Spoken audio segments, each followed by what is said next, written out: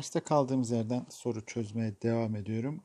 Burada yedinci soru diyor ki ağzı açık bir kapta sabit sıcaklıkta kaynamada olan saf bir sıvının aşağıdaki niceliklerden hangisi değişmez? Kaynama anında değişmeyen nicelikler nelerdir? Bir e, sıcaklık. İkincisi de buhar basıncı. Zaten kaynamanın şartı neydi? Dış basıncın iç basıncı eşit olması. Yani bulunan ortamdaki dış basınca buhar basıncı eşit olduğu anda kaynama gerçekleşiyordu. Dolayısıyla buhar basıncı değişmeyecektir. Kütle buharlaşma olduğu için ağzı açık bir kap zamanla azalacaktır. E, kütle azaldıkça molekül sayısı da zaten azalmış demektir. Buhar olup gidiyor. Hacim kütle azaldığı için sıvılarda doğru orantılı olarak azalacak. Fiziksel halde zaten sıvıdan gaza geçiş olduğu için değişecektir. Gelelim 8. soruya. 8. soruda yukarıda bazı sıvı ve çözeltiler ile bunların bir atmosfer basınç altındaki muhtemel kaynama başlama sıcaklıkları verilmiş diyor. Buna göre kaynama başlama sıcaklıkları hangi seçenekte doğru verilmiştir? Bir atmosfer basıncında saf suyun kaynama sıcaklığının 100 derece olduğunu zaten biliyoruz. Baktığımızda şıklarımızda hangileri elendi? İki tane şıkkımız kaldı A ve D. Etanolün kaynama noktası bir de tuzlu suyun kaynama noktası kaldı.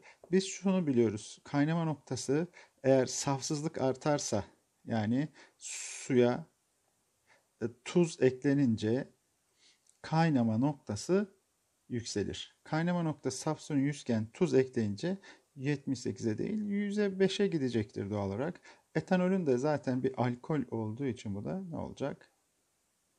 78 daha düşük bir kaynama sıcaklığına sahip olacak mecburen. Geçelim 9. soruya. 9. soruda şöyle diyor. Yandaki tabloda saf X, Y, Z sıvılarının aynı basınç altındaki kaynama noktaları verilmiş. Aynı basınç altında. Buna göre aynı şartlardaki X, Y, Z sıvıları için oda sıcaklığında buhar basıncı en fazla olan X'tir. Buhar, kaynama noktası aynı şartlarda olunca bakın aynı şartlarda buhar basıncı kaynama noktası ilişkisine bakarsak kaynama noktası düşük olanın buhar basıncı yüksektir. Dolayısıyla kaynama noktası en düşük olan X'in buhar basıncı da en yüksek olacaktır. Gelelim diğerine. Uçuculuğu en fazla olan Z'dir. Bakın aynı şartlarda yine uçuculuk neye bağlı? Kaynama noktasına bağlı olarak şöyle diyebiliriz. Kaynama noktası düşük olanın uçuculuğu en fazladır. Çünkü kolaylıkla uçup gidiyor. Zaten uçuculuk fazla olduğu için de buhar basıncı fazladır. Uçucu en fazla olan Z değil, X'tir. Gelelim moleküler arası etkileşimi en fazla olan Y'dir. Yine şöyle bakalım. Moleküler etkileşimine baktığımızda kaynama noktası ilişkisine kaynama noktası büyük olanın moleküler arası etkileşimde büyüktür. Küçük olanın küçüktür. Dolayısıyla moleküler arası etkileşim en fazla olan Z'dir. Yani cevabımız yalnız 1. Aşık. 10. soruya bakalım. Özdeş kaplarda bulunan eşit miktarda X, Y sıvıları aynı yükseklikten özdeş bilyeler bırakıldığında X sıvısının bulunduğu kapta bilye daha kısa, kısa sürede kap zeminine çarpmaktadır. Bakın Y'den daha kısa e, X sıvısında bulunduğu kapta bilye daha kısa sürede aşağı iniyorsa daha hızlı hareket edebiliyor. Yani X'ti kolayca sağa sola hareket ettirip bilye aşağıya doğru gidiyor. O zaman X'in akıcılığı daha fazla olmak zorunda. X'in akıcılığı Y'den fazladır. Evet.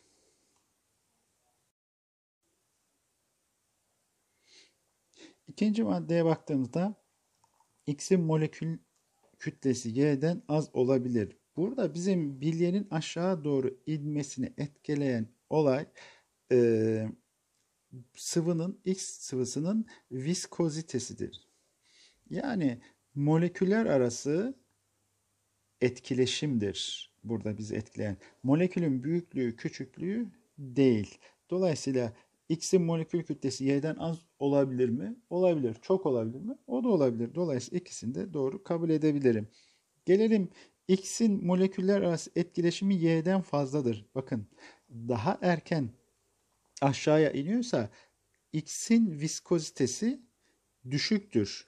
Viskozitesi Y'den daha düşükse X'in viskozitesi Y'den daha düşükse moleküller arası etkileşimde ne olmak üzere? Y'den düşük olmak zorunda.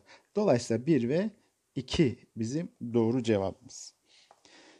Gelelim 11. soruya. Diyor ki aşağıda verilen yargılardan hangisi yanlıştır? Havadaki su buharına nem denir. Evet, bu doğru. Havada bulunan nem miktarına mutlak nem denir. Evet, bu da doğru. Havadaki bağıl nemin doygunluk oranının aşması yağışa yol açar. Evet, bağıl nem yani yüzde yüz olunca yağış başlar, yağmur başlar. Çünkü artık hava alabileceği kadar nemi almıştır. Buradan fazlası artık yağmura dönecek, tekrar sıvıya dönecek. Gerçek sıcaklık termometre ile güneş altında ölçülen değerdir. Hayır, güneş altında değil, gölgede ölçülen değerdir. Zaten haberlerde hava durumunda dinlerken ne diyor? İşte İstanbul'da gölgede sıcaklık şu kadar bu kadar diye. Dolayısıyla biz güneş altında ölçmemiz yanlış olur. Nem arttıkça hissedilen sıcaklık genellikle artar. Evet, nem arttıkça genellikle artar.